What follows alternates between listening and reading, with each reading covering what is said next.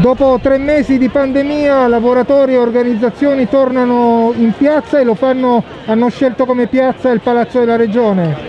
Dopo il primo maggio virtuale abbiamo deciso che era ora ed era il momento di riprenderci le piazze e prendere parola. Abbiamo scelto la piazza davanti a Regione Lombardia perché Regione Lombardia ha dimostrato l'incapacità di gestire questa emergenza. Da un punto di vista sanitario siamo la regione con la metà dei morti nazionali, con le tragedie nelle residenze per anziani, con il personale sanitario senza mezzi di protezione e dal punto di vista delle lavoratrici lavoratrici e dei lavoratori che stanno aspettando la cassa integrazione in deroga che non arriva, lavoratrici e lavoratori che non sanno cosa sarà il loro futuro. Oggi prendiamo parola, ci riprendiamo le piazze, da oggi riparte una primavera ecologica, sociale per tutte e tutti noi.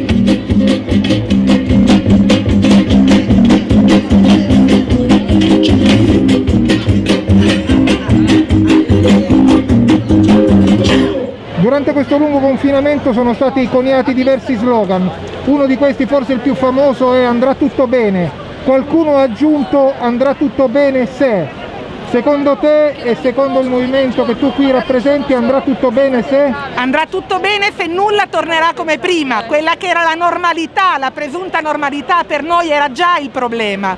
Andrà tutto bene se le lavoratrici e i lavoratori riprenderanno parola come facciamo noi oggi qua in questa piazza e si riprenderanno in mano il loro destino e il destino anche di questo Paese. Andrà tutto bene se la sanità tornerà ad essere generale, gratuita, basata sulla fiscalità generale per tutte e tutti e non privatizzata. Andrà tutto bene se ci sarà attenzione per i diritti delle lavoratrici e dei lavoratori, a partire dallo smart working che ora diventerà prassi e non viene regolamentato e non c'è il diritto alla disconnessione e andrà a colpire maggiormente soprattutto le donne. Andrà tutto bene se noi ci assumiamo la responsabilità di non tornare a come era prima.